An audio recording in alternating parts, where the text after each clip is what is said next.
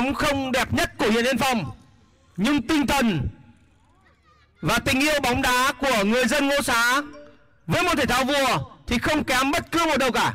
Giải mở rộng lần đầu tiên được tổ chức và chúng ta cùng nhiệt liệt chào mừng thân thượng Phú Mân về tham dự vòng 1 giải đá Ngô Xá Vân mừng lễ truyền thống năm 2023.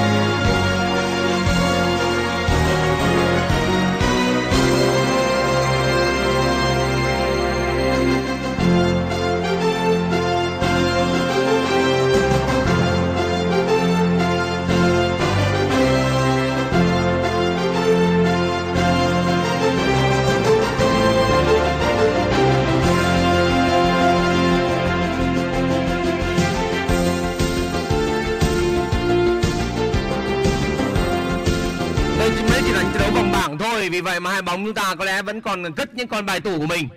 Ngày hôm nay thì thân thượng họ mang bộ trang phục áo vàng, Quần xanh, sọc vàng truyền thống. Còn à, Phú Mẫn họ lựa chọn trang phục màu vàng nhạt, Quần tím than. Một trong những trận đấu mà chúng tôi nhìn được đội hình thiếu ra sân của hai đội bóng Đều thiếu vắng đi những con bài chất lượng thủ chốt của mình. Đặc biệt là lãnh đội đội trưởng Đình Thi của Phú Mẫn. Bên cạnh đó là lão tướng thủ thành à, Văn Xuân, một trong đồ vật của Phú Mẫn cũng xuất hiện ngay từ trận đấu đầu tiên. Đây có thể coi là một trong những cầu thủ nhiều tuổi nhất của mùa giải này nay. Một trong những cựu đô. Người đã từng à, khoác áo cho đoàn của quân đội. Một cựu đô của Phú vân Và ngày hôm nay thì anh đứng trong khung gỗ, thử xem là bá bóng hay hơn hay là vật hay hơn. Đá bóng khó hơn hay là vật khó hơn ngày hôm nay đây. Chúng ta sẽ được chứng kiến còn nhiều cái hay nữa. Và lần đầu tiên một giải bóng đá Ngô Xá được tổ chức với một phong thái mở rộng trên chính ngôi làng Ngô Xá sinh ra. Một ngôi đền, một ngôi làng mà các bạn thấy được logo tôi biểu tượng một cụ voi phục. Một cụ voi phục. Lễ hội truyền thống của Ngô Xá vào ngày mùng 5 tháng 2 âm lịch. Và đây là giải đấu để chào mừng lễ hội truyền thống. Hy vọng là năm sau sân bóng Ngô Xá có thể thay đổi. Sân bóng Ngô Xá có thể mới hơn, khang trang hơn, đẹp hơn và ấn tượng hơn để có những giải đấu chất lượng hơn nữa. Trong khung gỗ ngày nay của Phú Mẫn là thủ thành Văn Xuân đeo áo số 1, đội trưởng Đình Quyết số 8, Thế Thủy số 23, Tiến Điệp số 5, Danh Dung số 20, Đình Khánh số 7 và tiền đạo của Phú Mẫn là Như Đoàn số 26. Đội hình vắng mất trong đội hình chính thức của Phú Mẫn chính là đội trưởng Đình Thi. Còn giờ này thì à, Đình Thi vẫn vội đi kiếm. Công Hùng, Công Mạnh cũng chưa xuất hiện.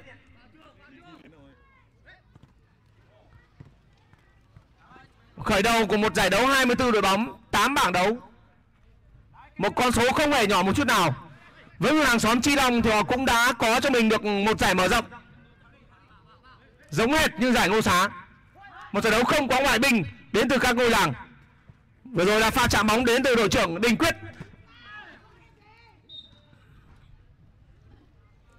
Ban chức cũng đã thông báo ngay từ ban đầu và xin mời các à, cháu nhỏ của Ngô Xá, các bạn di chuyển ra đây ngoài sân đi. Trong sân thì chỉ có cầu thủ dự bị rất nguy hiểm mà không vào vào xin chút nữa chúng ta đã được chứng kiến một một tình huống mà ông Đô Văn Xuân có một tình huống vâng người ta gọi là gì đây ông Đô Văn Xuân một trong những cựu đô của chúng ta có một tình huống suýt chút nữa mang về bàn thắng cho thần thượng đó không hẳn là một tình huống sườn thành công mà cũng không hẳn là một tình huống luồn ra sau thành công của ông Đô Văn Xuân Vâng, áo trên sân có vẻ như là hơi luống cuống cho cao thủ. Rất may là chúng ta vẫn có thể quan sát được. Với thân thượng thì trong khung gỗ là thủ thành Ngọc Hoàng đeo áo số 1. Một giải đấu xin nhắc lại là chỉ có nội binh thôi, không có ngoại binh. các thủ uh, Nam Trinh số 88, Tiến Thành số 7, Trường Con số 21, Quốc Đại số 89, đội trưởng Hồng Sơn đeo số 10 và Quang Hối số 23. Trên hàng công thì Quang Hối và Hồng Sơn đang là những người đá cao nhất bên phía áo vàng Tuyến giữa thì tất nhiên là một trong những lão tướng rất kinh nghiệm quốc đại. Cơi không vào. Rất đáng tiếc dành cho cao thủ bên phía thân thượng. Một tình huống dứt điểm trượt đến từ Quang Hối, một trong cầu thủ trẻ của thân thượng được đôn lên đội một. Quang Hối cùng với đội bóng thân thượng cũng vừa lên vô địch tại giải Phù Lưu. Đánh đầu Vâng nỗi lo nơi hàng phòng ngự đặc biệt là với thủ môn của Phú Mẫn đang được hiển hiện.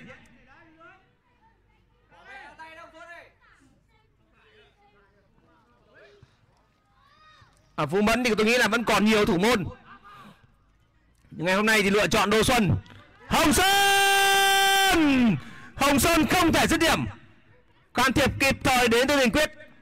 Bên ngoài sân thì công hùng, công mạnh cũng đã bắt đầu khởi động nhưng nếu như để cho các thần tượng ghi bàn trước, thì cho dù có thêm cả đình thi, cả công hùng và công mạnh thì cũng chưa giải quyết được vấn đề gì cả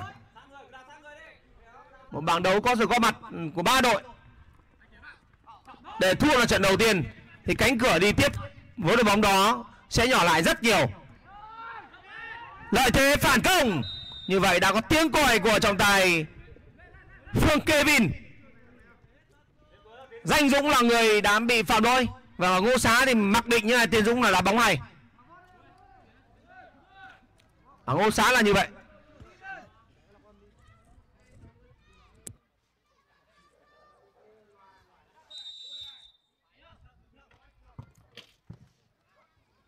Đội bóng đang có lợi thế về mặt tâm lý hơn ở những phút nhập cuộc đầu tiên. Có đội giá cao hơn. Chính là thần thượng. Họ vừa vô địch tại giải phú lưu xong. Ngày hôm nay là một ngày mà nhiều đội bóng cũng phải chia đội hình để thi đấu ở nhiều giải đấu mở rộng khác nhau. Chúng ta vẫn chưa thể đòi hỏi. Rất nguy hiểm và như vậy là có bàn thắng dành cho thân thượng. Một tình huống dứt điểm rất căng. Nam Trinh là người đã ghi bàn, một lao tướng nữa. Không có một phản ứng nào đến từ thủ thành Văn Xuân. Ông Đỗ Xuân đã phải vào lên bóng lần đầu tiên và đó chính là bàn thắng đầu tiên của giải mở rộng Ngô Xá năm nay. Vâng báo hiệu một giải đấu có lẽ nhiều bàn thắng được ghi. Một sự tưng bừng.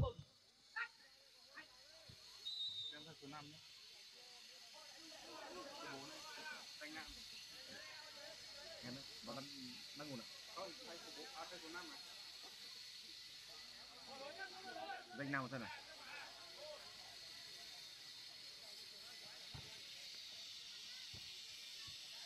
rất đáng tiếc dành cho Phú Mân. Nơi có một ngôi làng có diện tích rộng nhất tại thị trấn Trở thay người bên phía Phú Mân. Vâng, tiến biệt rời sân. Mệt rồi. Và người vào sân bây giờ là danh nam. Một cầu thủ có thể hình lý tưởng hơn ở danh nam sẽ phải chơi trung vệ. Thể hình tương đối tương đồng với tiền đạo quang hối. Chúng tôi vẫn giống như các giải đấu khác mà song hành. Mỗi trận đấu của giải đấu chỉ được tính tối đa một cầu thủ ba bàn thôi. Nam trinh. Tiếp tục là cơ hội dành cho thân thượng. Họ tự tin hơn rất nhiều sau khi có bàn thắng. Lần đầu tiên một giải mở rộng tại ngô xá, mang đến cho khán giả cô vực vừa rồi là tình huống mà thủ thành văn xuân đã tự cứu thua cho các thủ phú mân một tiếng đối mặt rất hay, một pha phối hợp tuyệt vời nhưng trường con không thể đánh bại được thủ thành lão tướng văn xuân. Một trong những lão đô, cựu đô. Một pha tung móc đến từ trường sơn sứ hồng sơn.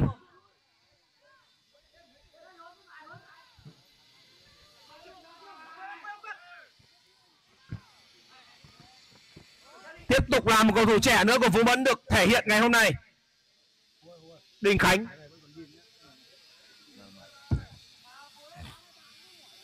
Và đó là Đình Khánh. Đình Khánh là cháu của Đình Thi.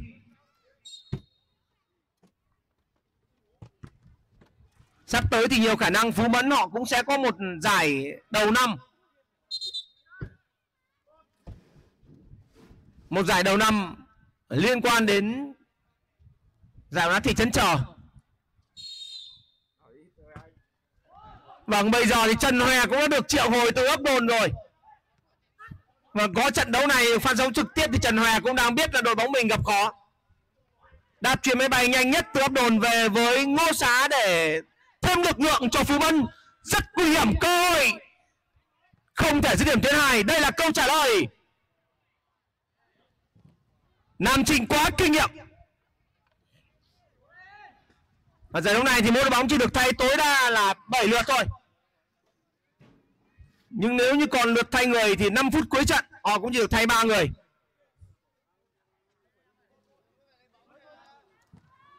Các bạn có thấy được là phú mẫn không hề thiếu nhân tài như những cái tên như đình thi, sơn chân thối vâng trọng tài đã thổi phạt bóng chạm tay. Một tình huống bóng chạm tay bên ngoài vòng cấm của thủ môn ngọc hoàng. Và nghe cái tên thôi là thấy anh ở trên trời rồi. Không bao giờ dưới đất được.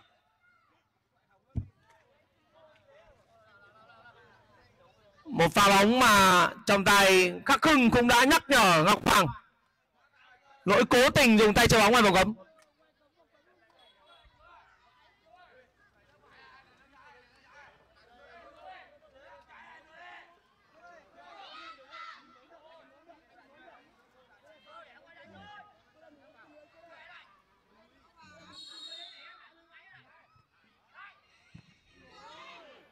đánh đâu không được. Đinh khánh.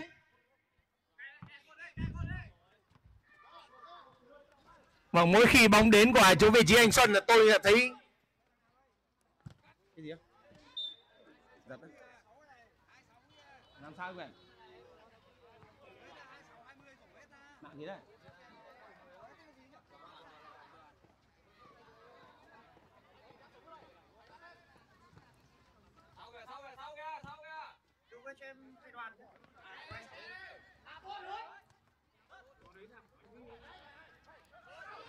Sút ngay không vào, thay người bên phía Phú Văn, vào những cầu thủ trẻ hơn đã được thay ra.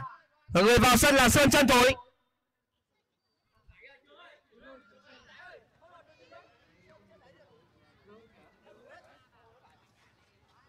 Một số 26 mà số áo Đình Thi thường mặc rời sân.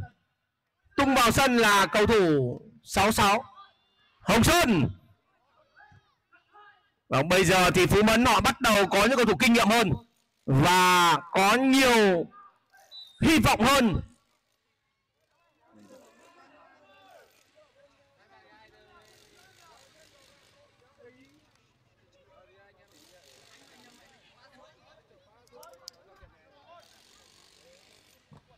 Tiếp tục treo bóng.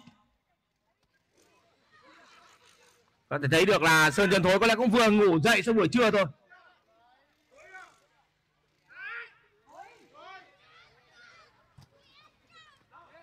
Đánh đầu lại tiếp tục là quang hới.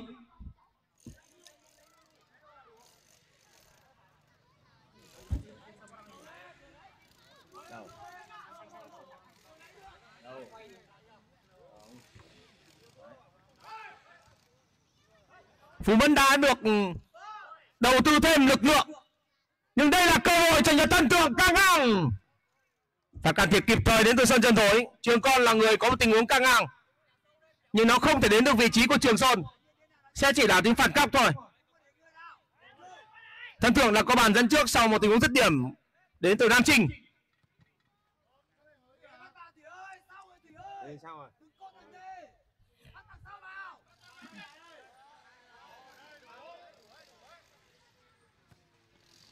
đánh đâu? Cuộc đời đã không thể trả bóng.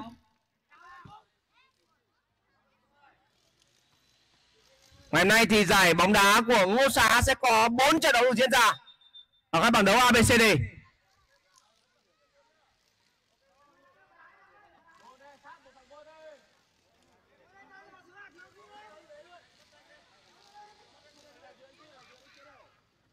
điều kiện mặt sân thì ban chức cũng đã cố gắng hết sức mình rồi. Và chúng ta ở sân đất nện nên chỉ có thể được như vậy thôi.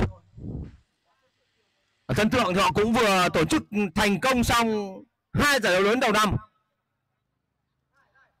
Trong đó đặc biệt nhất mà đáng chú ý nhất chính là giải dành cho lứa tuổi trẻ U17 được tài trợ bởi công, bởi công ty bất động sản Greenland bắt bóng tốt đến từ Ngọc Hoàng. Bên ngoài sân thì các thủ Phú Mẫn, còn Trần Hoe có Đình Thi. Và khi đó vào sân thì đội bóng Phú Mẫn chắc chắn sẽ là một trong những đội bóng có độ tuổi trung bình lớn nhất giải. Toàn 8x thôi.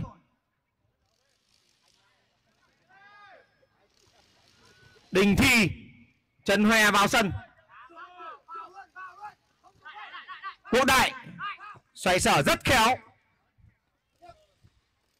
Hồng Sơn cắt bóng tốt. Đình Khánh.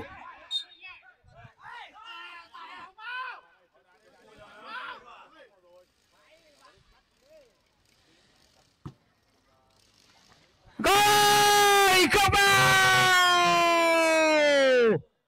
rất đáng tiếc dành cho thần Thượng. Một tình huống bóng màu về danh Nam đã bị vượt qua một cách tương đối dễ dàng. Ở Phú Mân thì họ vẫn còn những cái ngôi sao như là, là An Cảnh nữa. Đình Tuấn. Ngay cả trọng tài Tuấn Hưng. Phú Mẫn không hề thiếu nhân tài. Nhưng quan trọng là tập hợp các nhân tài đó để thi đấu thì như thế nào thôi. Chân trái rất nguy hiểm. Phú Mẫn rõ ràng đang gặp vấn đề để nhập cuộc và thích nghi với trận đấu trên sân đất nện của Ngô Xá. Họ đang để cho đội bóng Phú Mẫn để đội bóng thân thượng. Epson. Thay người bên Ruben Danh Dũng rời sân và Trần Hoài tung vào sân. Vâng, chỉ khoảng 10 phút thôi, ba sẽ thay đổi người.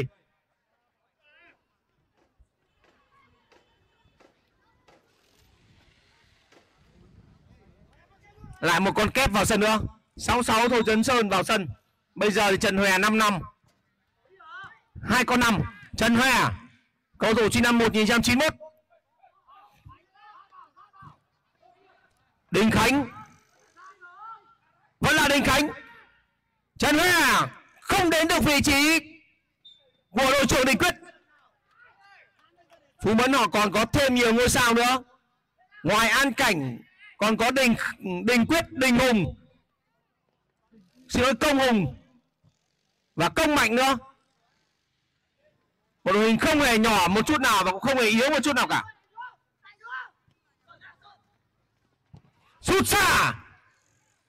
Người dứt điểm là hồng sơn.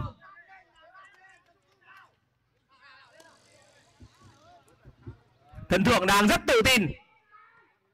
Cho dù họ chỉ có bàn thắng đến từ một pha bóng sút phạt cố định, có phần may mắn vào sân nhà. Nhưng điều đó không phải là tất cả. Thế trận trên sân thì những người yêu mến thần tượng hoàn toàn có thể tự tin hơn. Về bàn thắng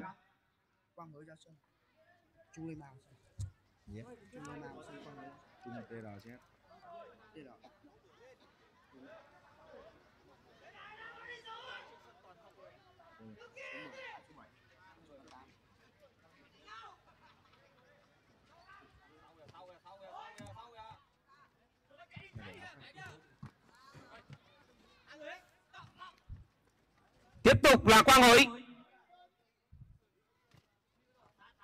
phản công đình khánh sẽ là rất khó cho đình khánh ngày hôm nay. Khi phải đối đầu với những cầu thủ kinh nghiệm như là quốc đại hay nam trình những người cách đình khánh khoảng 20 tuổi. Đây là cơ hội đình khánh kịp không? Ngọc hoàng đã kịp thời lao ra. Và thủ thành ngọc hoàng đang bị đau.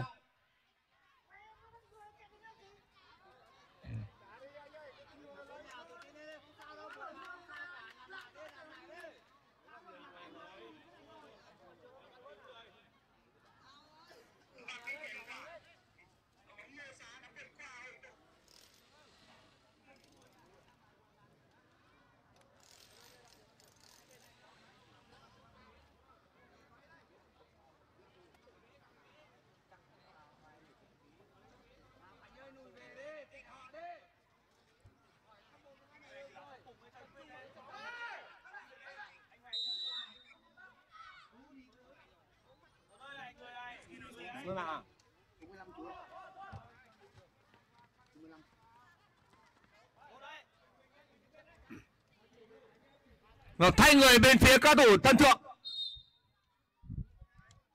Trung Lema vào sân và được quang ới được cho ra nghỉ.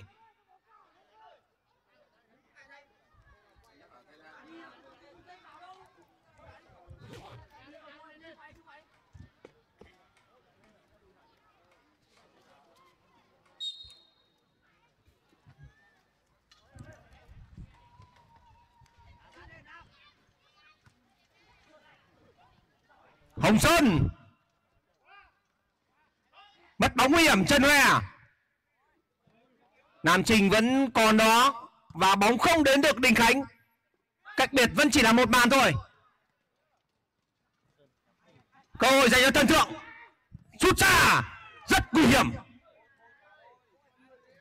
Và điểm rất căng đến từ Tiến Thành cái mạng à, xin chữa là xin gì đấy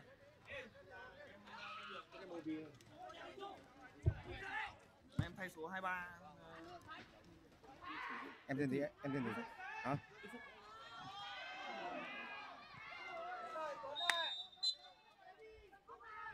nốt nốt nốt quả đấy nốt quả đấy à, ăn bia bóng hết rồi Vâng, thay người bên phía Vũ Mẫn. Rồi người thứ tư, Thế Thủy rời sân và Đức Thúc được tung vào sân. Bốn số tiền người trong người một đến từ Phú Mẫn.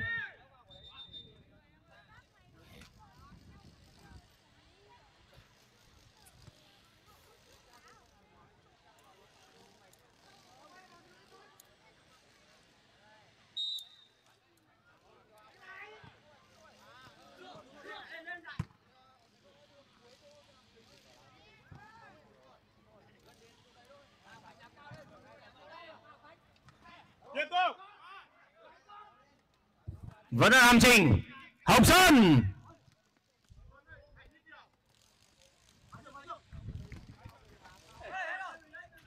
Đá biên dành cho thủ thân thượng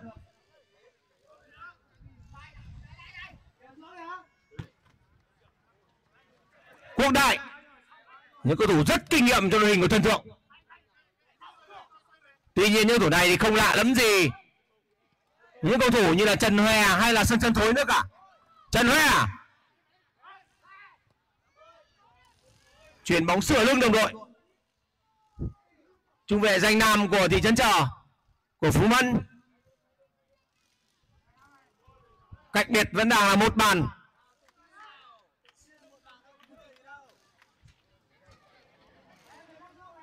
Phú Mẫn thì vẫn chưa tạo ra được một cơ hội dứt điểm thật sự nguy hiểm nào cả.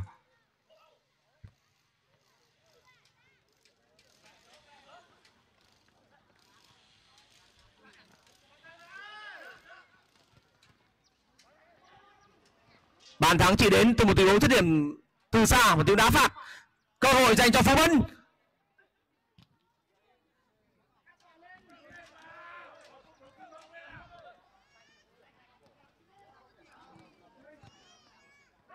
Quốc Đại rất tự tin. Những pha xử lý bóng của Quốc Đại luôn mang đến sự yên tâm.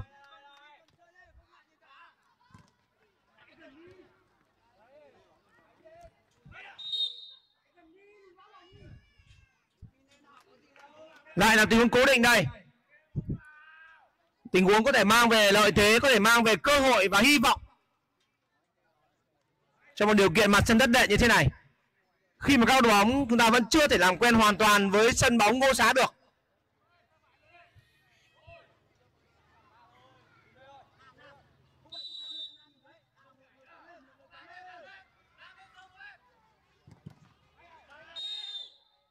Bóng tiếp tục chạm tay.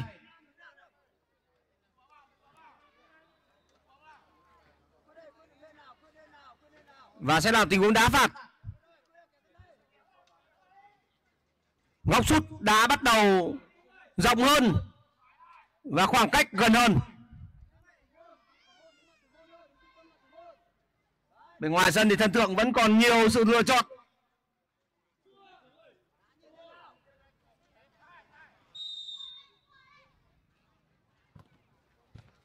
Không có gì khó khăn.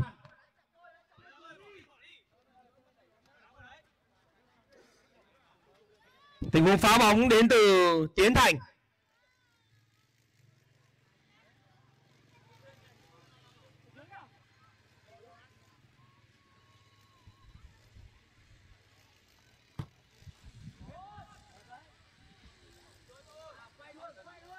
Phú Mẫn đang thiếu đi một nhạc trưởng ở giữa sân, Hoặc là một cái máy cày ở giữa sân Thì đúng hơn. Chưa tìm ra được vị trí có thể đàn áp được quốc đại về phía tân thượng.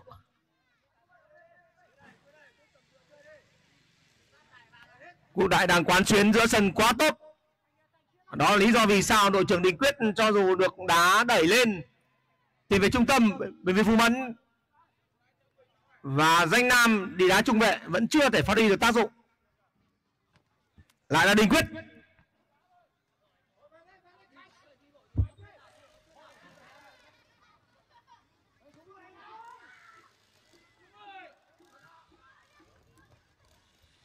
Trần Hoa, cơ hội đây rồi. Nam Trinh quá hay.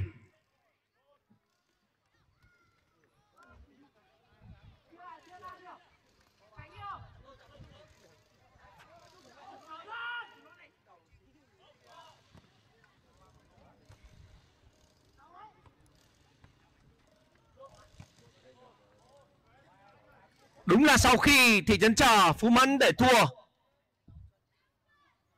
thì cách chơi của họ đang vô vàn gặp khó. Để thua trước là khó như vậy rồi. Đây là cơ hội một tình huống mà Trung Nema đã tự lùi sâu và tạo điều kiện cho Gành Văn Xuân phá bóng an toàn.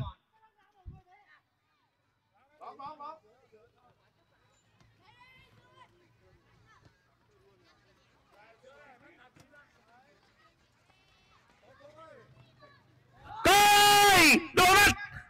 Vật không vào. Dứt điểm hay không vào. Hoàn toàn phải là tình huống ghi bàn dành cho Tân Thượng mới đúng.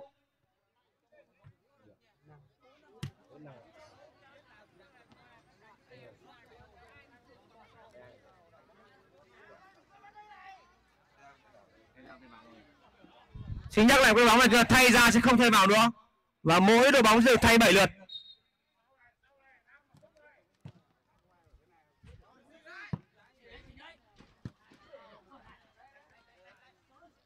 Hồng Sơn. Thay người bên phía phong ân Đình Khánh rời sân. Cầu thủ trẻ Đình Khánh vẫn còn nhiều việc phải làm. Và người vào sân là một lão tướng Nguyễn Năng.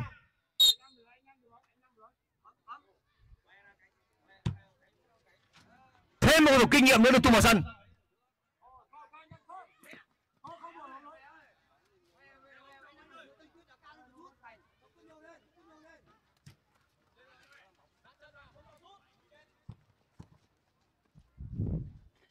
Vẫn là Hồng Sơn.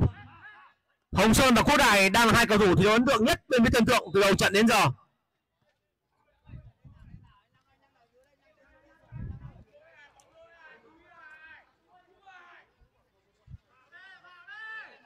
Đương kim vô địch của giải Phú Liêu mở rộng. Nhưng đây là một giải đấu mà có tới 24 đội bóng tham dự. Số lượng gấp đôi và khó khăn để nâng cao chức vô địch những vật cản cũng sẽ là nhân đôi.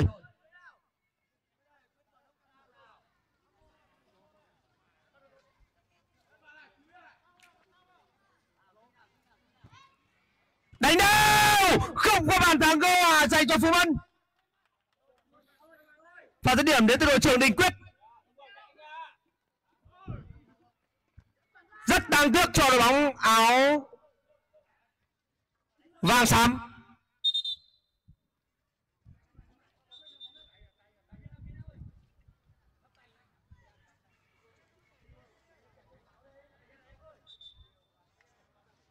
Quá đáng tiếc dành cho đội trưởng đình quyết. Nếu đó là bàn thắng gỡ hòa thì sẽ khác.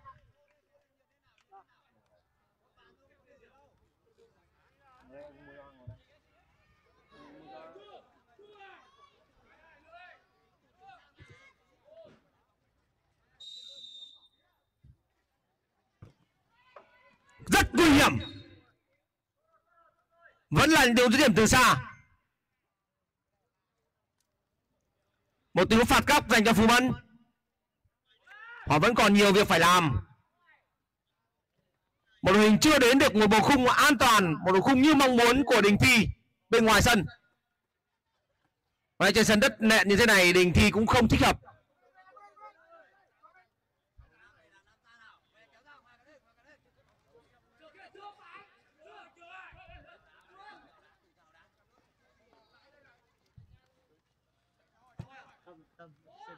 Rất nguy hiểm.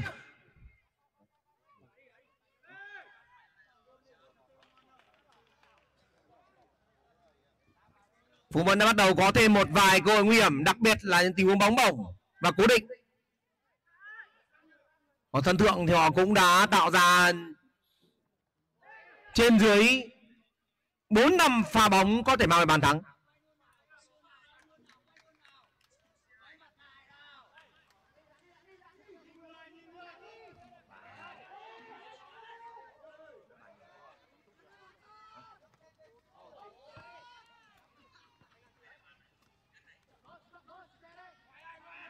Phản công, trần hoa, bóng không đến vị trí của đình quyết.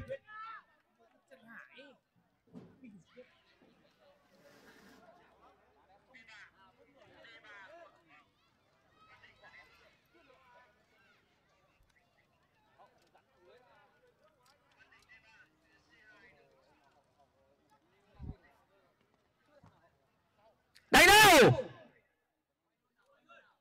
Phú Mân đang sử dụng chủ yếu là bóng bổng thể hình của các thủ mẫn cũng rất lý tưởng. Một đội hình có thể hình, có chiều cao trung bình 1m75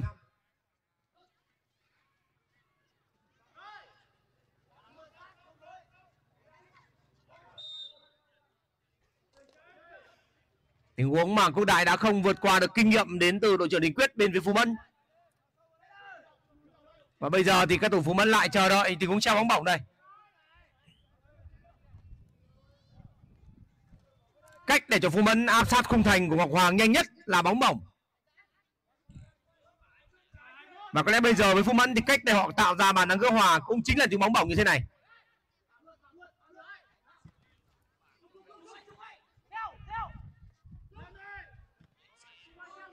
Rất an toàn đến từ lão Đô Văn Xuân.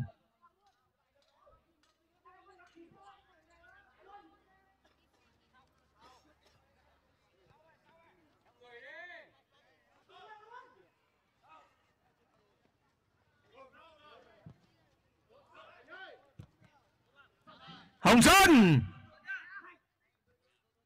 Đình Quyết đã kịp thời lùi về.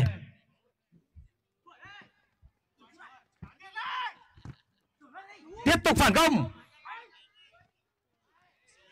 Hơi non mất rồi. Một phút bù giờ chơi một. Nam Trinh mất bóng nguy hiểm. Quốc Đại đã kịp thời sửa sai cho Nam Trinh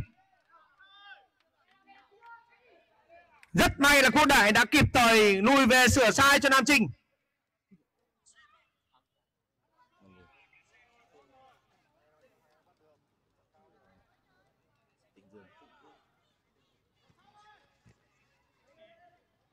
Phản công. Trần Hoa.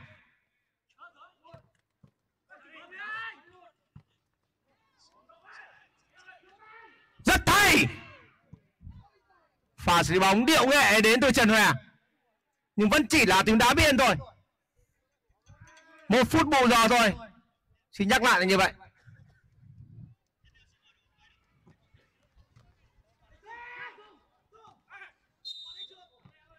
Tình huống đẩy sau. Vẫn còn tiếng đá phạt nữa dành cho đội bóng Phú Mân.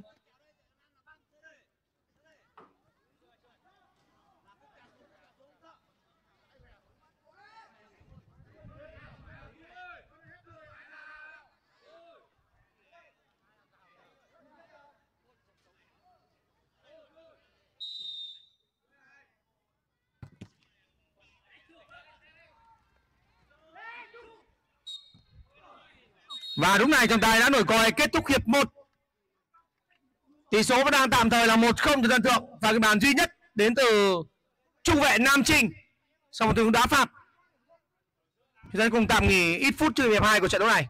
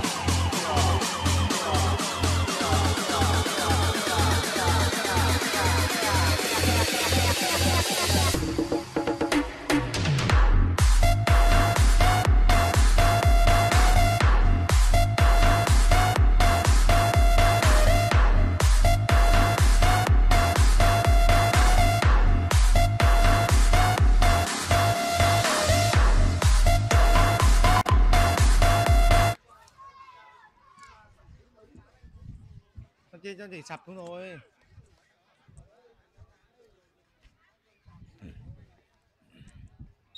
và chúng ta sẽ cùng à, quay trở lại việc đấu thứ hai. Và những khán giả lớn tuổi của Ngô Xá đã bắt đầu à, xuất hiện ở trên sân bóng. Và kính trọng, kính mời các ông, các bà, chúng ta cùng à, có những cái chỗ khách mời danh dự có bàn ghế ạ. Xin mời các ông an tọa để cùng chiêm ngưỡng cổ vũ cho các ừ, cháu của mình. Dõi theo những trận đấu tại mảnh đất voi phục. Hiệp một là hiệp đấu mà các thủ bên phía thân thượng họ có đội hình chất lượng hơn những phút đầu trận.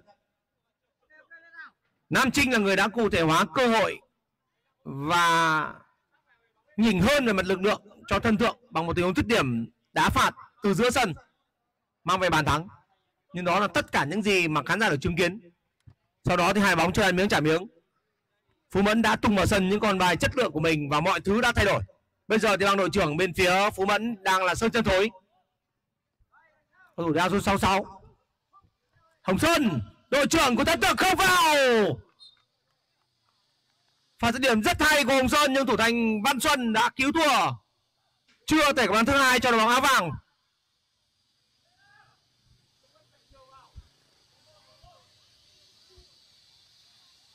Hy vọng là mọi thứ sẽ thật suôn sẻ với trận đầu tiên.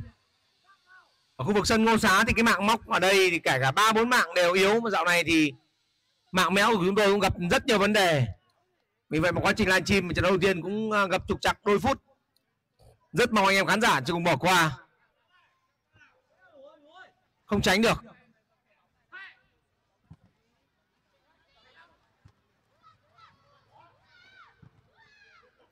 Đá biên cầu thủ thiếu ấn tượng nhất trong hiệp một bên phía đội bóng áo vàng chính là quốc đại. Bên cạnh đó là đội trưởng hồng sơn. Hai nhân tố có thể tạo ra rất nhiều những sự khó khăn trong phòng ngự bên phía phú mẫn và nếu như may mắn hơn, thì những đồng đội của hồng sơn, những đồng đội của Cú đại hoàn toàn có thể có hơn một bàn thắng. Phú mẫn thì họ vẫn phải xoay vần những sự thay đổi lực lượng quá nhiều trong 11 về mặt nhân sự. Họ thay tới 5 cầu thủ. Cũng làm cho đội hình của họ gặp rất nhiều sự xáo trộn và không thể mang về bàn gỡ. Và chủ yếu thì vẫn là những tình huống treo bóng bổng từ phần sân nhà. Một lối chơi thực dụng của phú mẫn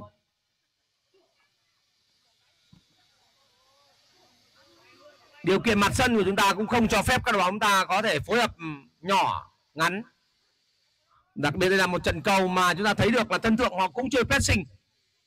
Nhưng khoảng trống cho phú mẫn chơi bóng là không nhiều. Vì vậy mà phú mẫn buộc phải thay đổi từ bóng ngắn chuyển thành bóng dài.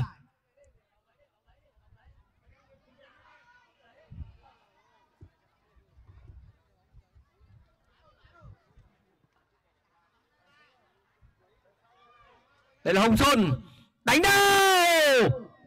Rất đáng tiếc. Không có một cầu thủ bên phía thân thượng nào chạm bóng. Và bóng vô tình đập vào người của đình quyết. Bên phía phú mẫn và đi ra ngoài. Tương đối mạo hiểm làm trinh và cái bóng tốt của trần huệ. Hồng sơn kịp thời lưới bọc lót tốc độ rất cao cho trận cầu đầu tiên của giải ngô xá. Một giải mở rộng 24 đội bóng đôi bát không vào! Đường truyền lại cho thấy cái phẩm chất nhãn quan chiến thuật tốt đến từ hồng sơn. Trường còn không thể cụ thể hóa pha bóng cơ hội vừa rồi để mang về bàn thứ hai cho thần thượng đánh đầu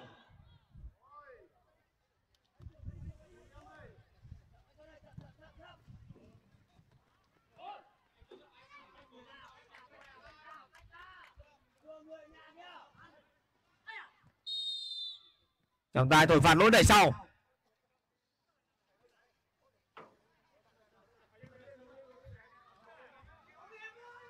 Vẫn là cái tên nam trinh đứng trước quả đá phạt này. Ở trong hiệp một thì một tình huống sút còn xa hơn.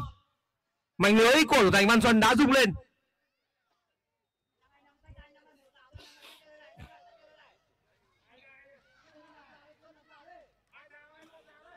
Đình thi đang muốn gây dựng lại hình ảnh bóng đá Phú Mân.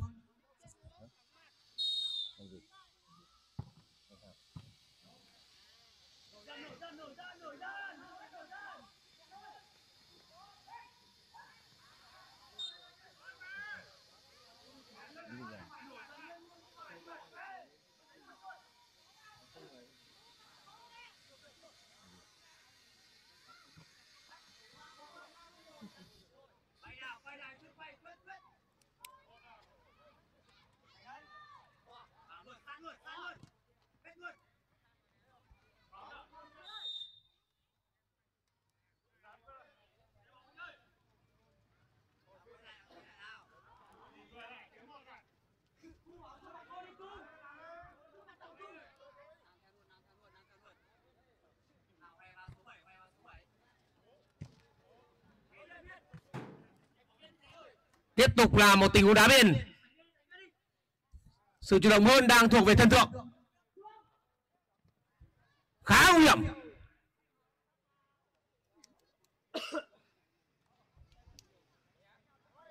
Vâng, xin mời các khán giả của Phú Mẫn các bạn à, đứng lui vào bên trong à, đường pit đi ạ. Xin mời ban trước ạ. Xin mời anh em của Phú Mẫn ạ. Cho anh Thế Duy ạ, xin mời anh à, lùi vào trong trong bên trong đi ạ.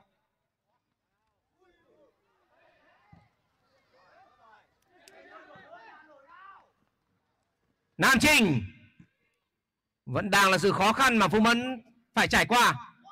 Một cảm giác phải đi rượt đuổi, nó rất khó chịu. Cơ hội dành cho các thân thượng Hồng Sơn vẫn làm quyết định dứt điểm ngay của Hồng Sơn. Cái cảm giác phải đi rượt đuổi thật sự là quá khó khi mà trước đó các thủ Phú Mẫn họ đã tung tới 5 cầu thủ dự bị vào sân đội hình 2 ngay cả ngày hôm nay thủ thành Văn Xuân cũng không phải là giành số 1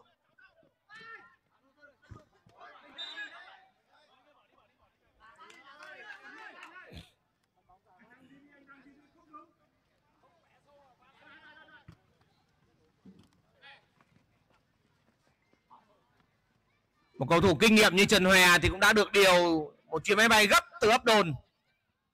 Về với Ngô Xá đá phạt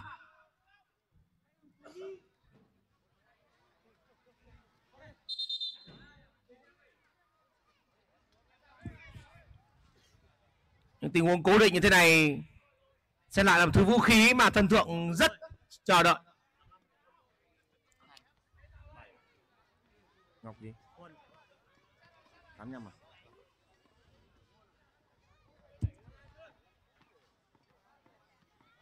Nam Trinh đứng trước quả đá phạt này.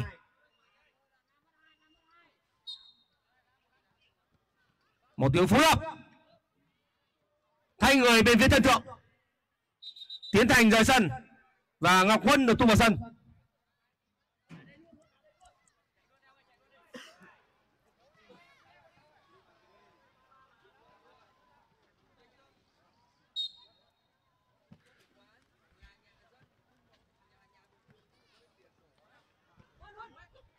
Còn lại Phú Mẫn cần một sát thủ trên hàng công thật sự. Một sự sắc lẹm hơn. Hồng Sơn phản công. Quốc đại. Rất tinh tế nhưng không thành công.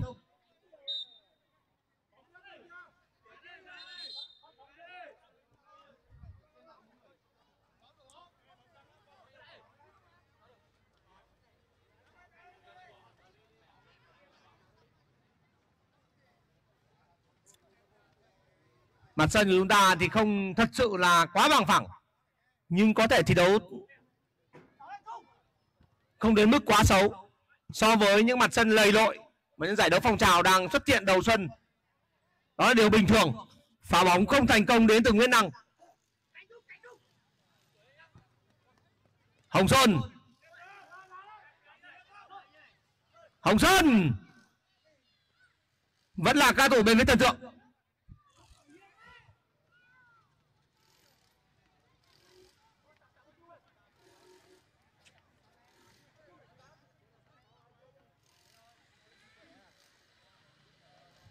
Điều quan trọng nhất với những anh em tổ chức giải đấu, với những ban tổ chức của mọi giải bóng đá phong trào, đó là không có những tình huống vào bóng ác ý, không có những tình huống sâu sát trên sân, không bị vỡ giải. Và đặc biệt với cầu thủ, với những anh em chơi bóng, chơi giải đấu, thì không gặp phải những chấn thương nặng. Đó là điều tuyệt vời nhất. Lại là quốc đại. Vẫn là quốc đại. Rất khó khăn dành cho các thủ bên phía đội bóng phú vân. Ngọc huân.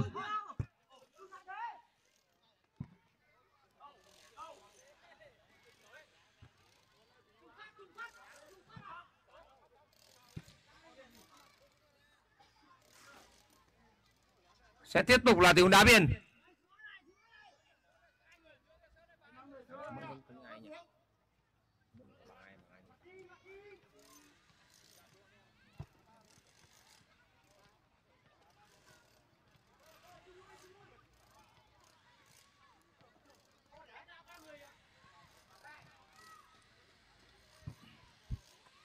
Quá khó khăn.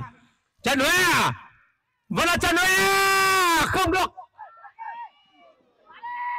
Nỗ lực của trần huệ à? không thể mang về một tiếng đối mặt. Danh nam. Trong bảng đấu của phú mẫn và Tân thượng thì còn có chi long. Một người hàng xóm. Một người hàng xóm ngày hôm nay. Vâng. Rất bất an mỗi khi bóng đến vị trí của thủ thành Văn Xuân.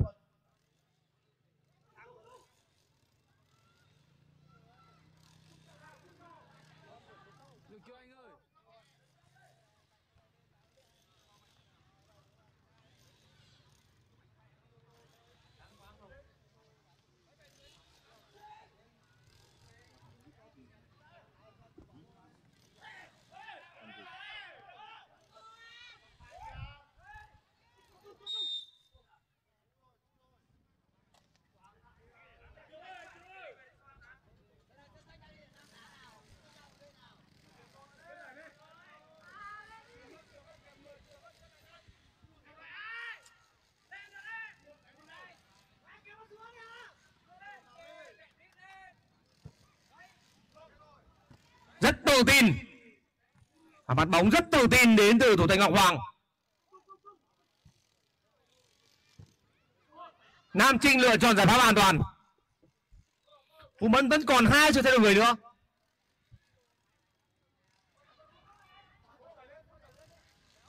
Danh Nam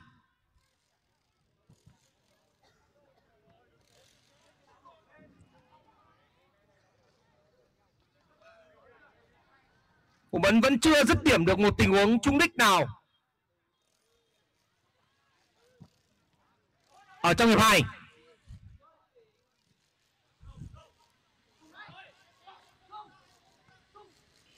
Lợi thế hơn về mặt thể hình, nhưng đây là rất khó khăn. Tưởng chừng như đó sẽ là một tình huống mà ngọc quân hoàn toàn có thể tạo ra một pha dứt điểm hoặc là chuyền bóng cho ngọc sơn. Nhưng vẫn khó.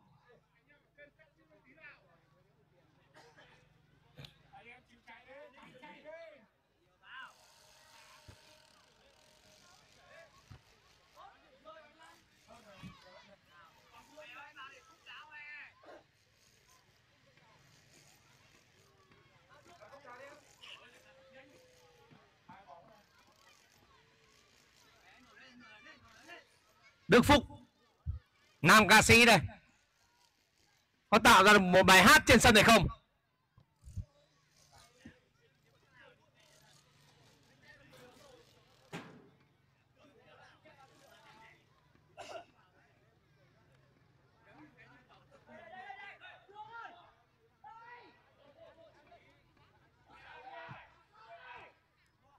Coi không vào pha điểm cứu đích đầu tiên mà Phú Văn tạo ra trong hiệp hai.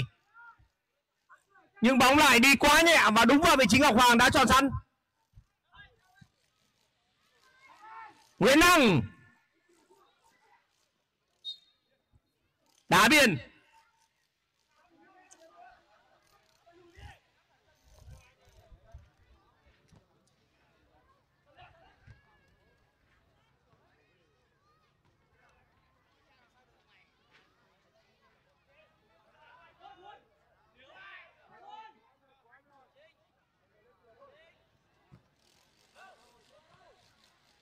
chân trái coi không vào nỗ lực của hồng sơn vẫn chưa thể mang về bàn thắng. Đình thi cũng đã nóng chân rồi. Bắt đầu khởi động rồi.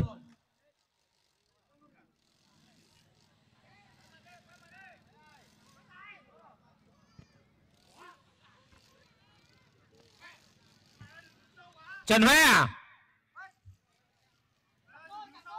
Những nhân tố vệ tinh xung quanh Trần Hòe là chưa đủ.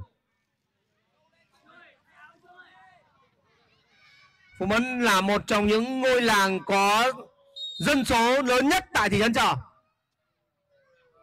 Giải đồng niên của Phú Mẫn năm 2022 có tới 20 đội bóng tham dự.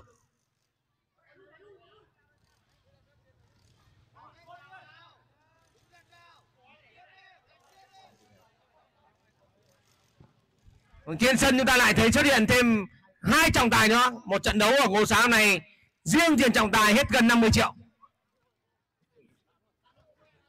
trọng tài tuyển co quay. Và trọng tài tô minh hằng. Hai trọng tài va. Thì ngoài sân có thêm trọng tài đào huấn nữa. Năm trọng tài. Công lập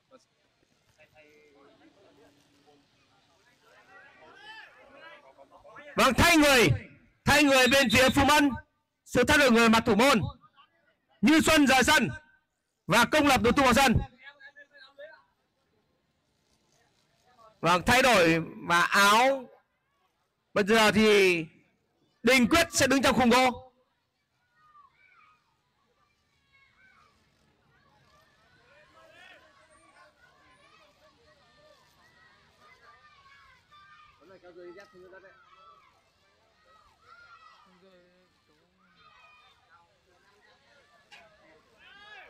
Hai trọng tài của chúng ta thì vừa đi bốc thăm một cái giải lớn nhất của văn môn trong cái năm 2023 à, này về rất tươi tỉnh. Ông cháu là buồn ngủ à?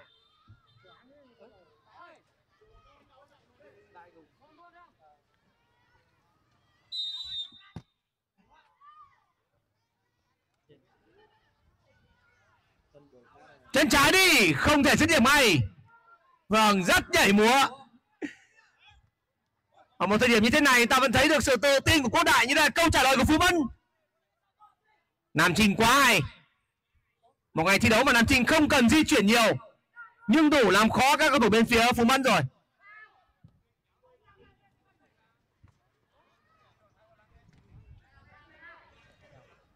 Nam trinh không cần di chuyển nhiều. Nhưng kinh nghiệm trong tình huống phòng ngự của anh là tuyệt vời. Ít nhất đến thời điểm này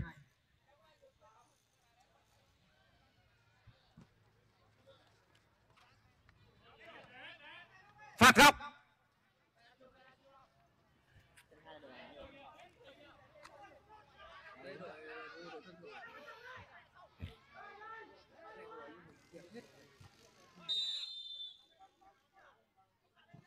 Và bóng kê chân. Hết sạch.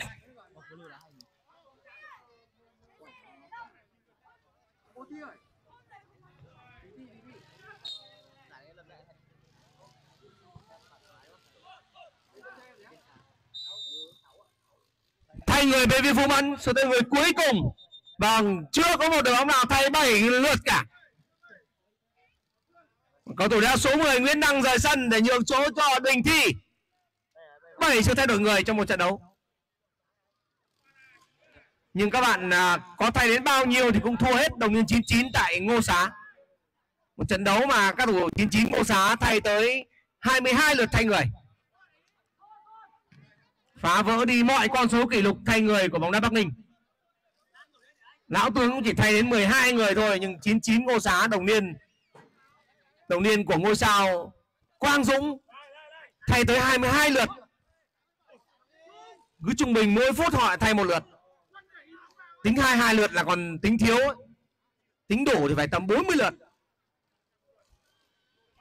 Không buồn ghi thay người nữa đồng niên 1999 Ngô Xá. Nếu mà tính về lượt thay người thì mãi đỉnh và luôn vô địch.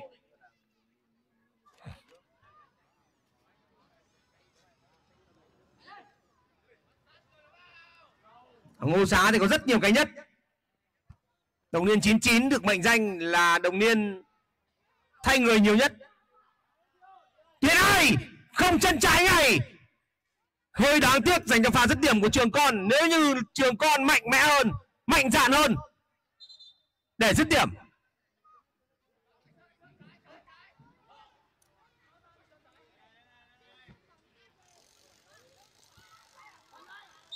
ngô xá có nhiều cái nhất Ở mỗi một nơi thì có những cái kỷ lục có lẽ ngô xá là nơi xuất hiện giải bóng đá dòng họ nhiều đội nhất.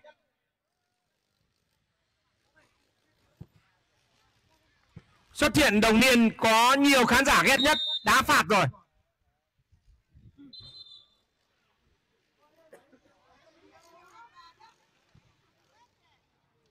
Nhiều người ghét nhất, đồng niên 91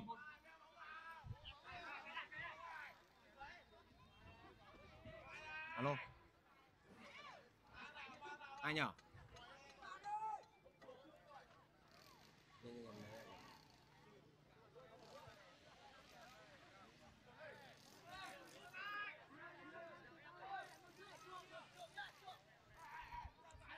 Ở khán giả của ngô xá thì có một lão bà được mệnh danh là khán giả cuồng nhiệt nhất ngô xá. Bà liệu thần hồn.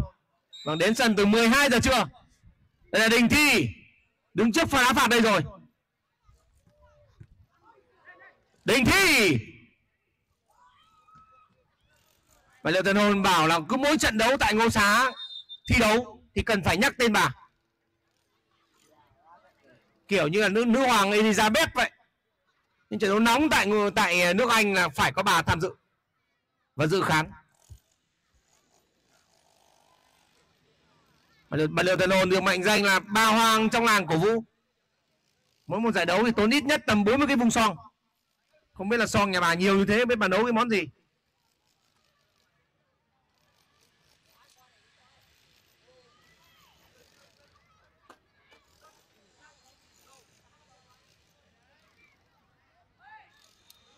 Đá biên dành cho các thủ Phú Mân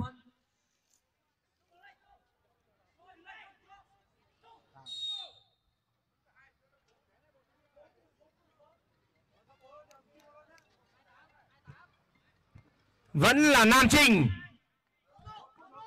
tốc độ. Đá phạt rồi. Trường con là người đã phạm lỗi. Chiếc thẻ vàng cho trường con.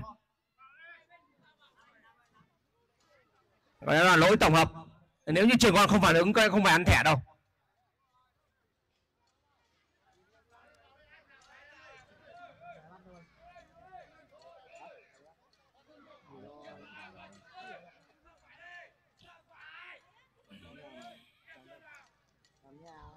Danh nam. Cây vẫn đúng vào vị trí của Ngọc Hoàng một pha dứt điểm, vượt qua rất nhiều những đôi chân nơi hàng phòng ngự của thần tượng nhưng Đức Phúc vẫn chưa thể giúp cho Phú Mân được ăn mừng. Thể hình của Phú Mẫn đang có sự vượt trội hơn.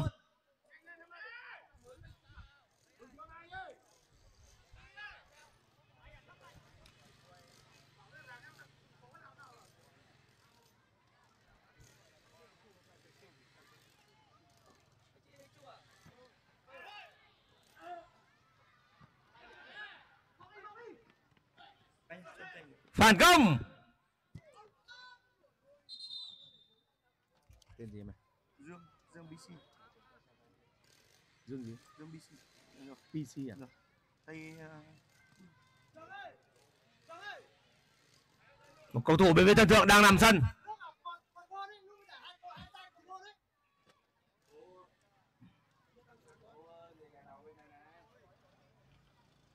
Vâng thay người về phía thần tượng Trung Neymar rời sân và Dương PC được tung vào sân.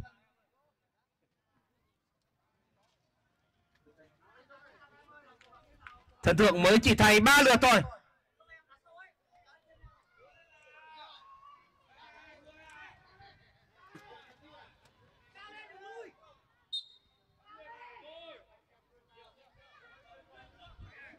Danh nam. Đánh đâu?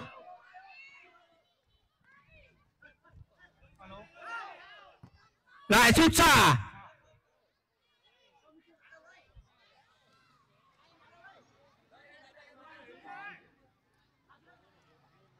một tình huống treo bóng thẳng vào vị trí của Trần Hòe.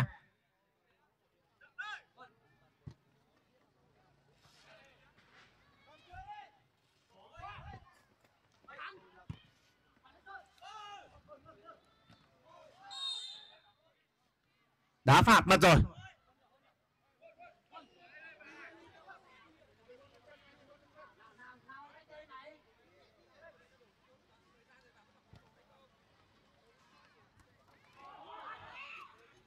Không có gì khó khăn cả. Ngọc Hoàng vẫn đang chơi cực kỳ ổn định. Pha ném bóng rất mạnh. Hồng Sơn! Hồng Sơn! Tiến ai? Đường truyền không dành cho ai đến từ Dương PC càng về những phút cuối, trận đấu càng đáng xem hơn. Bóng chạm tay.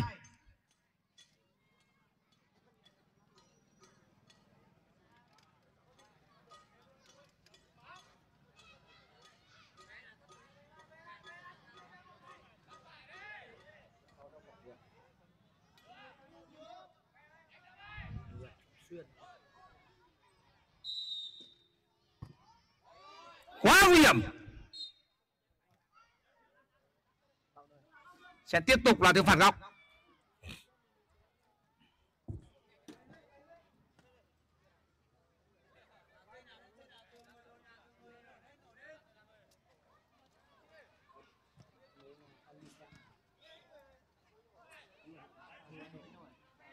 Phát bóng lên dành cho các thủ phú vân.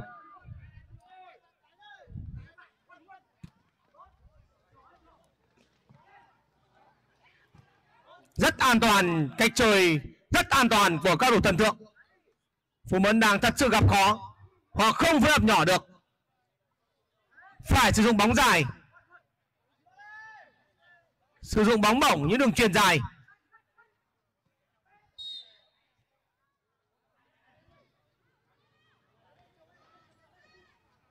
Họ cảm giác như vì thể hình của các thủ thân thượng lớn, cộng với thể hình của các thủ phú mẫn cũng không hề kém cạnh. Làm cho khoảng không gian chơi bóng của thủ chúng ta ít đi.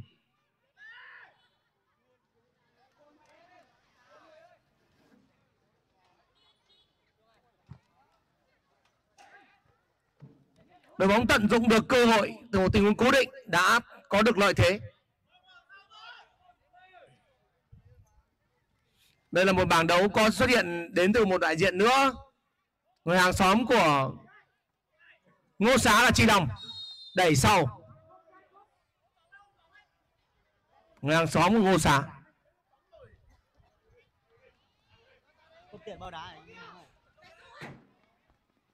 Sơn chân tối.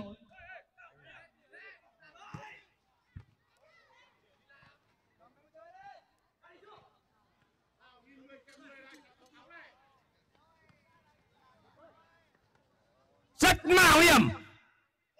Coi không vào Vân là Hồng Sơn Chân phải, chân trái đánh đầu Đều không thể có bàn thắng cho Hồng Sơn.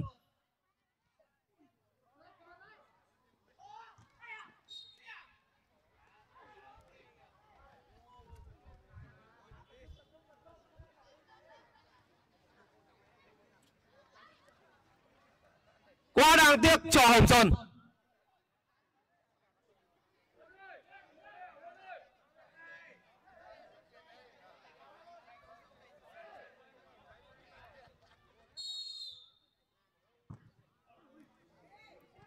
Một giải đấu tại Ngô Xá nóng đến mức mà ban tài Yên Phong phải cử tới 5 trọng tài bắt một trận đấu khai mạc.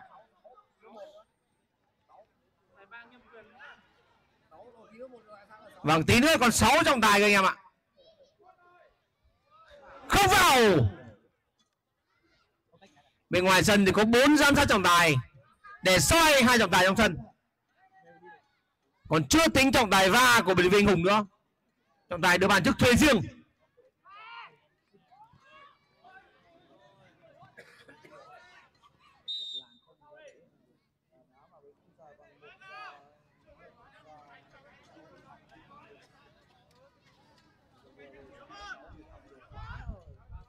3 phút bù giờ trận đấu thứ hai.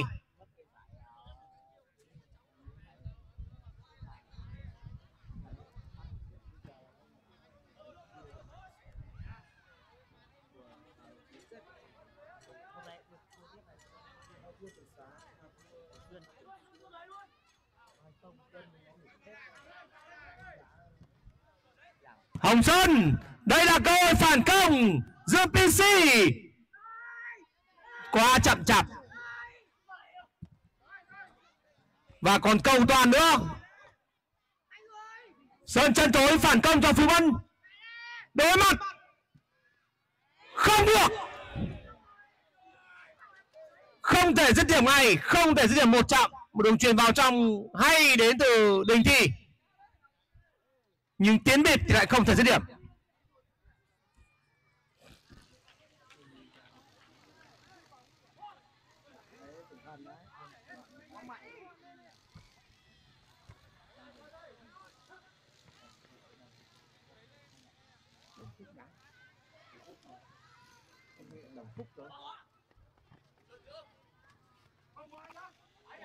Bóng vẫn trong sân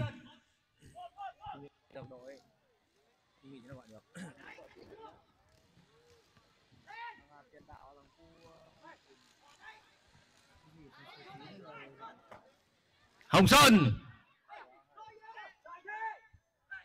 Quốc đây cầu thủ thần thượng rất cầu toàn. Rất cầu toàn nếu như có thêm một bàn thắng nữa cách biệt thì cơ hội đi tiếp có sẽ luôn hơn. Một cách biệt tối thiểu trong một bảng đấu ba đội thì chưa nói trước được điều gì cả. Quốc đại!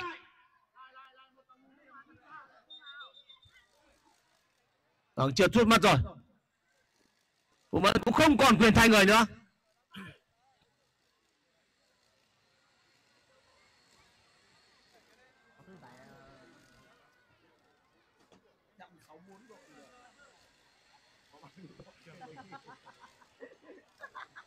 Tất đi. Có tiếng ghi lại người ấy thôi. Ghi thẻ vàng hay thẻ vàng.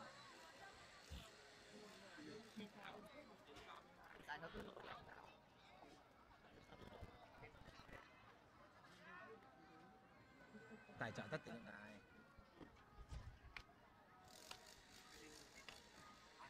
anh tôi là tài trợ tất tượng này làm cái giải lớn luôn thì người ta biết yên phong nào ở đâu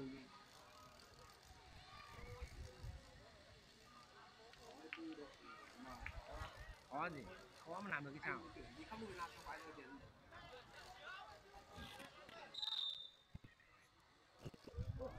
đây rồi! Trần hoa trần hoa phạm lỗi kéo người. Một phút bù giờ nữa.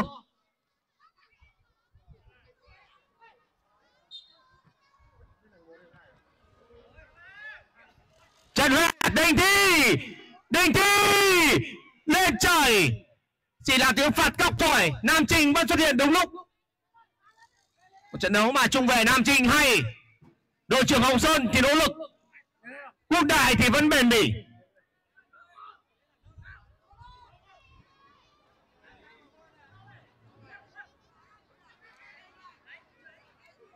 Rất thô lộc ơi vẫn không vào! Tiến biệt phải tự trách mình thôi. Vậy mà không kịp phản bỏ lỡ top bỏ lỡ trong tuần rồi có lẽ phong vân cũng tự trách chính mình.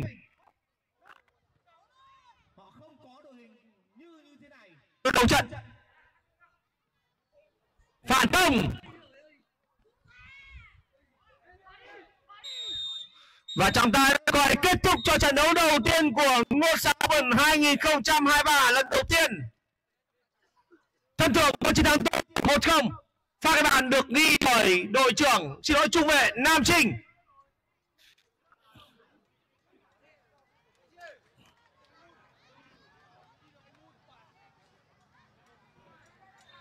Vâng, hai bóng sẽ đọc tiền thẻ ngay. Chúng ta sẽ cùng đến với trận đấu thứ hai.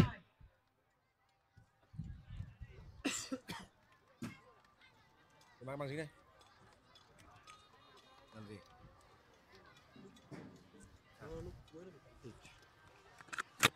Xa thì nó chập tròn nhưng đây, nó nhiều sắt nhiều ấy nhiều ấy, mang